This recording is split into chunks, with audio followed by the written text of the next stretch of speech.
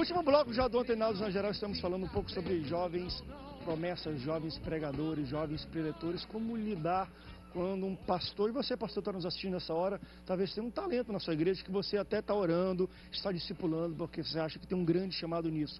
Mas às vezes o pai, a família, o até tem, hoje já tem muito olheiro, né? Tem isso muito, né? O cara vai, segura do prego, tem uns olheiros.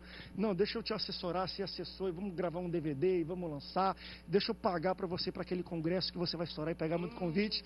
Isso é muito complicado. Eu contei no, no, no bloco passado desse rapaz que fizeram o documentário. Foi lá, ele pensou que ele era a estrela, porque ele ia em várias igrejas. E as igrejas eram grandes e lotava e coisas aconteciam. E quando ele falou, poxa, eu que atraio as pessoas. As pessoas foram para aquela igreja por causa de mim. Ele fez um num evento solo, num hotel, deu 18 pessoas, e um menininho mesmo, 13 anos. Começou a chorar, porque depois da pregação, ele pregou, foi bonito, quando acabou ele começou a chorar pelo fracasso que foi, talvez, o número de pessoas. A cabeça desse garoto vai crescer meio complicado. Pode ser um futuro Deus não queira que isso aconteça, mas a gente está criando uma Macaulay Culkin do, do hum. futuro. Ou não, André, André. Meu pai me explorou, fui explorado pela igreja. Ou está André. criando um cara que lá na frente vai ser um cínico que vai se aproveitar da, da fé dos incautos para se locupletar. Eu soube essa semana de um grande pregador aqui no Brasil que, quando no seminário, disse que é ateu. E hoje ele é pastor de uma, uma das maiores igrejas do Brasil. Então, infelizmente, tem disso. Agora, eu acho que meu pai soube lidar muito comigo, com a minha vaidade. Eu não queria contar também, minha. Ah, mas vamos mas jogar, como, vamos abrir a vida. À vontade. A, a, eu quero eu saber. a primeira vez, você sabe que isso encanta, gente. O microfone, os holofotes. Eu queria pregar. Aí um dia eu cheguei para o meu pai e falei, pô pai, todos os meus colegas ganham o seu dinheirinho lá, sua, sua mesada. Eu não ganho nada. Ah, você quer mesada? Espera aí. Meu pai foi lá, mandou fazer para mim um, um, uma caixinha de engraxate. Na época a igreja estava em obra, o pessoal sai com os pés todos sujos. Você vai ficar na porta da igreja se oferecendo para engraxar o sapato dos irmãos. Aí eu, puxa vida, depois, a, depois que o pessoal me viu como pregador mirim, agora eu vou engraxar sapato. Eu engraxava sapato e lavava o carro dos irmãos. Eu comecei a pegar gosto por servir. O que, que eu fazia? Eu falei, bem, um dia eu vou ser pastor, mas eu quero começar de baixo. Eu não quero chegar lá e ninguém dizer, ó, ele chegou porque ele é filho do homem. Eu saía às 5 horas da manhã, ia para a igreja, eu fugia de casa para a igreja, que tinha uns obreiros internos, que enceravam a igreja. Eu ia para lá ajudar a encerar, porque eu queria ter o gostinho de servir. Aí um dia eu cheguei para o meu pai, puxa pai, mas eu queria tanto pregar. Você quer pregar, filho? Tem uma praça a 100 metros aqui da igreja. Eu comecei a ir para a praça, comecei a ir para o morro, isso eu com 8, 9 anos de idade subia no banquinho e começava a pregar. Depois eu fui para os trens. Então, esse tipo de coisa é que ajuda a criança a criar a consciência de que ela está ali não é para ser o, o, o astro mirim, ela está ali para ser servo para que quando ela crescer, ela não venha sofrer da mesma síndrome de Lúcifer, né? De é. achar que é o tal que rouba a cena. E, meu irmão, a cena é de Cristo, ninguém rouba. Agora, a gente botou muita responsabilidade nos pais, em tudo. Agora, tá aí uma coisa que foi bem colocado que a gente tocou um pouquinho nesse assunto, pastor Anderson também, isso agora. Responsabilidade do pastor de. Garoto é bom? Prega? Tá bom, prega aqui um dia, amém. Depois saber. Ah, bota ele então para fazer um negócio de criança, bota ele para trabalhar, porque às vezes também o pastor tem muito isso. Se esse garoto prega bem, olha, ele está estourando, foi chamado convidado, começa a sentar no púlpito. Aí fica no púlpito todo domingo e ele já se vê tipo, você sabe que púlpito é um troço meio doido, né? O cara sentou no púlpito uma semana. Vicia. Ele vê o culto de trás aqui, é um negócio meio viciante, para o cara depois voltar a fazer o que ele fazia depois sentou no púlpito ou pregou no domingo no culto principal, é muito complicado. Qual é a responsabilidade também agora do pastor em lidar no dia a dia com uma criança, com um jovem, com um adolescente nesse sentido? Agora está pregando, foi para os congressos, está convite, tudo bem. Como é que o pastor lidar com isso? Para ensinar o serviço para esse garoto que nunca teve ensino de serviço. Tem uma responsabilidade. Porque o pai não tem jeito, gente. O pai não vai querer que ele fique lavando o chão. Nunca vai. O pai quer que ele pregue para todo lugar. Isso talvez seja uma coisa inata do pai. Eu acho que até eu, se minha filha fosse grande pregadora, ia falar: Ah, pastor, não bota ela para lavar chão. Isso é uma coisa do pai, o amor de pai. Agora, um líder, pastor, ele tem que. Posso pegar um exemplo? Claro. De tudo que nós estamos falando aqui e vai trazer. Eu ontem preparei essa mensagem para pregar segunda-feira. Presta atenção. É exatamente o que nós estamos falando aqui. Há uma responsabilidade sobre os sacerdotes do lar. Há. Ele pode ser pai de um grande talento, mas ele precisa ensinar o seu filho a servir. E como deve servir? A presença de Deus existe. Existe. Isso é notório. Tem chamado, tem presença de Deus. Lembram de Abinadab? A arca ficou na casa de Abinadab 20 anos. 20. E nada aconteceu na casa de Abinadab. Lá estava eu e Uzá e o seu filho que foi consagrado para tomar conta da arca. Mas eles desprezavam a presença de Deus. Isso pode acontecer com uma criança. Isso traz consequências terríveis, porque o levita Abinadab não procurou explorar na palavra como deve ser conduzida a arca de Deus, que é a presença de Deus, o Deus de Israel. E quando prepara um carro de bois novo para levar a arca do Senhor, Uzá toca na glória, na presença de Deus e morre. Por que ele morreu? A culpa é de quem? Assim os talentos jovens morrem, assim jovens ficam frustrados, como esse garoto lá do Estado não ficou, porque não sabem lidar com a presença de Deus.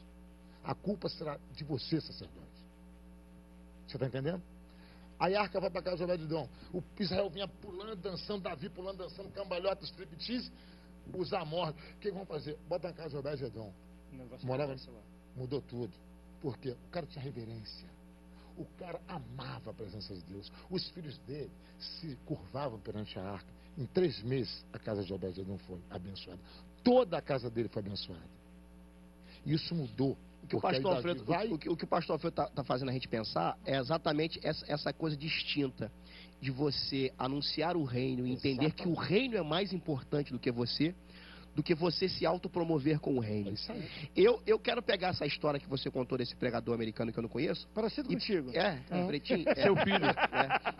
É, eu tenho uma experiência com meu filho muito fantástica. É assim, eu quero ver o lado bom nessa história. O ter dado errado. A melhor coisa que pode acontecer é, na trajetória. É, é, deu errado, caiu, ele, deu errado, a ficha caiu. Tipo né? assim, opa, vamos botar a viola no saco, coisinha que a vovó dizia. A melhor coisa que pode acontecer na vida de um, de um pregador é ele de vez em quando lembrar as, o que ele realmente tem que fazer. Né? As pessoas que me acompanham em rede social me vê pregando para 40 mil pessoas e me vê me pregando dentro de comunidade para 20 pessoas. Porque eu aprendi que o reino tem que ser anunciado independente de lugares. Isso eu aprendi. Me foi ensinado. O meu pastor na época me ensinou isso. E eu quis ser ensinável. Porque o problema não é o pastor ensinar, é o pai e a mãe dessa criança se permitir ser ensinável. Porque, campeão, seu filho pode pregar muito, se é que ele prega mesmo. Mas até aonde ele está ganhando o mundo e está perdendo a sua própria alma. Hum. Parafraseando o raciocínio do pastor Alfredo. Hum. Para mim, José, não José do Egito, mas José o carpinteiro, é uma das maiores referências de paternidade da história. Esse cara é pouco citado nos nossos altares. Uhum. Mas esse cara é uma referência, porque ele viu o talento do filho, que nem dele era. ele não deixou o filho dele, ele não, ele não aprisionou o filho, deixou o filho dele seguir o caminho dele. Mas quando Jesus surge no cenário, alguém diz: não é este o filho do carpinteiro? E em Marcos vai dizer: não é este o carpinteiro. Ou seja, José conseguiu deixar o talento de Jesus fluir sem anular a sua referência e o seu legado. Jesus fez o que fez, como Cristo enviado por Deus, mas aprendeu alguma coisa com o seu pai. Então você pode pregar muito, mas a referência ao seu redor de pastor, de pai e de mãe não pode ser perdido. Hum. Eu acho perigoso um garoto de 12, uma menina de 13, ficar exortando a igreja, admoestando a igreja, falando de assuntos que ele não conhece no cotidiano, descendo a marreta, descendo o cajado. E geralmente é um pouco assim, é, é, eles doutrinam a é igreja, um né? Assim. Mas foi o que eu falei no, no primeiro bloco. É. Isso é ensinável, isso mexe com a massa. Eu pegar o microfone botar um garoto de 12 anos, porque tem pecado aqui nessa noite. Meu irmão, isso vira. isso vira, né? Isso vira. Porque isso, porque isso é ensinável, é, é, um, é um linguajar pronto. É. Você sabe disso, existe um linguajar pronto. Tem cara pregando em congressão aí, ele está pregando contra o adultério, mas ele é adúltero. Ele está pregando sobre roubar dinheiro, mas ele está roubando dinheiro, porque ele sabe que falar esse assunto dá ibope, promove. Eu pegar, não veja televisão, você está vendo a Babilônia, era do Satanás. Ah, fala Deus. Mas aí chega em casa e ele vê.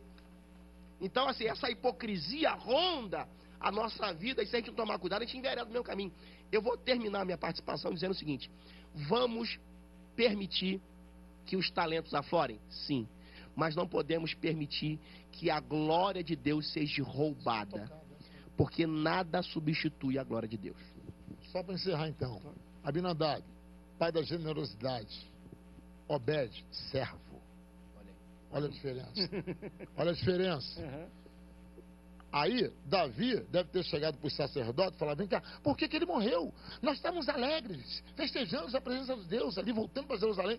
Por que, que ele morreu? Foram, ih, Davi, caramba, Moisés, quando mandou fazer a arca, mandou que a arca fosse conduzida pelas varas que eram enfiadas nas argolas. Não era para colocar em cima de carro, não, que ninguém podia tocar nela, não, só pelas argosas. Então, conclusão: se ele fosse um bom levita, um bom sacerdote do lar, ele tinha que ser diligente, pesquisar na palavra e ensinar o filho o caminho que ele deve andar. E, não e, promovendo e, eventozinho, bababá. E para mim, isso no, no fim das contas termina talvez num mal maior, até o mal de, de às vezes, o pessoal vê a igreja de um modo diferente, está explorando de tudo, eu volto para dentro da casa da pessoa. Como é que vai ser o relacionamento um dia dessa criança, ao qual o pai faz a agenda, o pai administra as finanças e está na frente chama chama ele não de filho, não chama pelo nome, chama de pastorzinho, missionário, a cantora. Que tipo de relacionamento depois que essa criança cresce e ó, não, ó, amanhã tu não vai jogar bola porque amanhã tem uma agenda que eu fechei para ti. Agora tu nem sabe, não vai brincar porque fechei essa agenda para ti, vai ter que viajar e a criança não quer faltar aula que tipo de lar de relacionamento de criança vai se tornar isso? Né? Porque de exemplos, eu volto de novo, Hollywood está cheio. Vê, depois eu estava vendo um dia desse com a minha esposa. É até bonito, mas depois quando eu vi o relacionamento de pai e filho, a história de documentário do Justin Bieber, bonito. O garoto que pegava, abria o negócio, tocava na frente de um restaurantezinho, não sei o que. Hoje o pai e a mãe vêm falar, olha que são você vê que quem manda ali é ele, porque é ele que traz para dentro dinheiro, ele que segura, e o pai e a mãe brigaram por causa do talento dele. Do então, assim, pode destruir a casa inteira. O que o pai está achando que vai ser o futuro da família, vai, pode destruir o futuro da cê, família inteira. Você sabe por quê? Um, um biógrafo do Michael Jackson escreveu um livro agora recente, e diz que a razão dele ter feito tantas intervenções cirúrgicas, plásticas, é porque ele queria se livrar de qualquer traço que o remetesse ao pai. Eu nunca tinha lido nada acerca disso. Porque foi, a, relação dele com o pai foi tão traumática, justamente por isso. O pai exigia muito. Não, você tem que ser o melhor e tal. Ok, ele deu certo? Deu. Mas dar certo não significa que está certo. E não significa sucesso também. Exato. É sucesso financeiro, mas não é sucesso emocional, psicológico. O que, que adianta ganhar o mundo inteiro e perder a alma do seu filho? A, a, essa, essa garotada aí, às vezes até empresário já tem, cara. Eu fico impressionado, cara.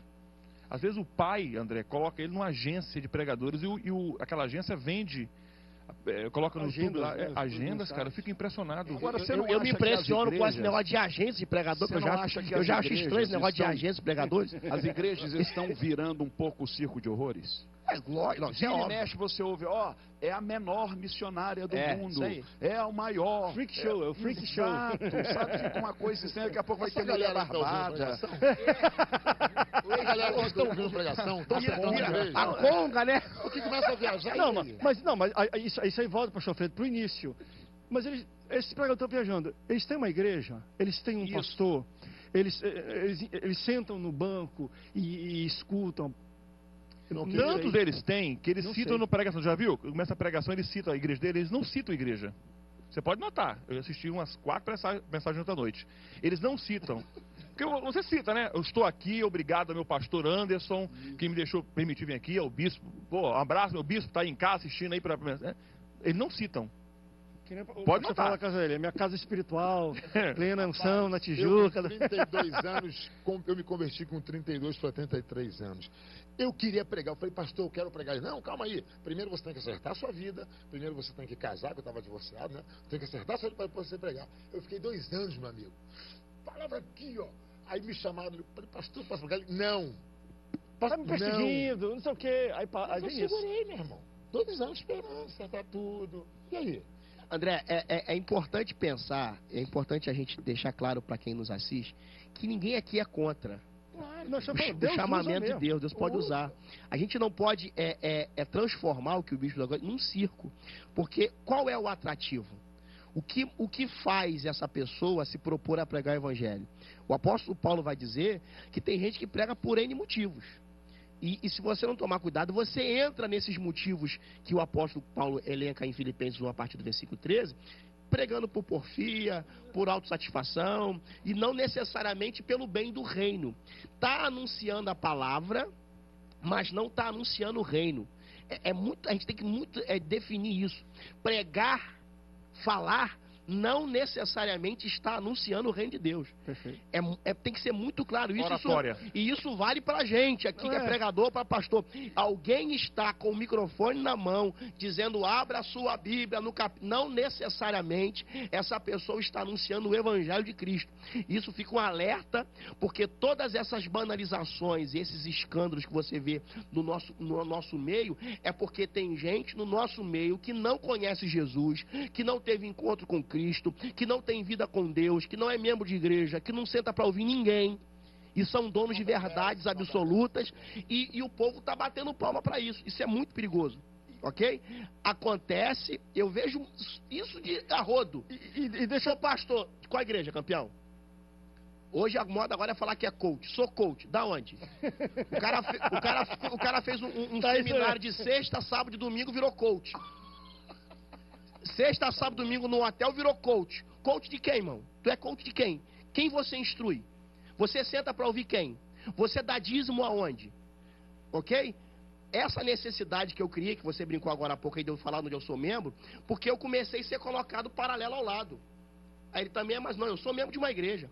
Eu sou membro de uma igreja não é porque dá status, eu sou membro da igreja porque eu aprendi que você tem que ser membro de uma igreja. Você tem que ir para a escola dominical, você toma ceia, você dá dízimo. Em plena comunhão com seu pastor. Exatamente. E, e, e meu pastor me liga e fala assim, ó, preciso de você aqui. Ah, mas eu tenho uma agenda. Eu preciso de você aqui. Ah. E aí? E aí, campeão? Então, isso tem que ser pontuado, porque tá cheio de gente. Escritor, cadê o livro, filho? O cara, o cara bota um currículo na internet e você vai, vai investigar, não tem nada. E, está aí fazendo sucesso, está aí participando de um monte de coisa, e as pessoas estão batendo palma. Então, cuidado, que alguém está dizendo, abra a Bíblia, no... não significa que ela está anunciando o Evangelho. E aí eu falei aquilo, só repetindo no início, e eu acho que vocês não viram a piada que foi feita em cima disso, você entra num circuito de começa, está pregando, faz o DVD, e eu já vi pregadores ou missionários de menor fazendo caravana para Israel. Aí o pastor Anderson mandou. A caravana tem que ser para Disney. Beto Carreiro. o pastor está chegando ao final. Eu acho que nós aqui alertamos bastante. Foi muito bom. Nós somos bastante fortes, incisivos, no sentido de como deve lidar. Deus está levantando todo dia. Está cheio de pregador, está cheio de cantor, está cheio de criança, cheio de talento, cheio da unção de Deus. Mas nós temos que saber lidar com essas situações. Pai, mãe, pastor, vamos abrir o olho, vamos com calma, deixar o negócio acontecer naturalmente, devagar, para depois a gente não criar uns monstrinhos que não vai ter mais controle no futuro, tá bom? Obrigado pela sua audiência. Foi duro hoje, mas foi bom a gente ter falado de tudo isso. Pastores, obrigado pela presença de vocês. Vamos orar todos, pedir oração para a filha do, do Bispo Hermes aqui. Eu peço que você ore em casa, que nós vamos orar assim que acabar aqui o culto. Obrigado pela sua audiência. Deus te abençoe e até o próximo Antenados na Geral. Tchau, tchau.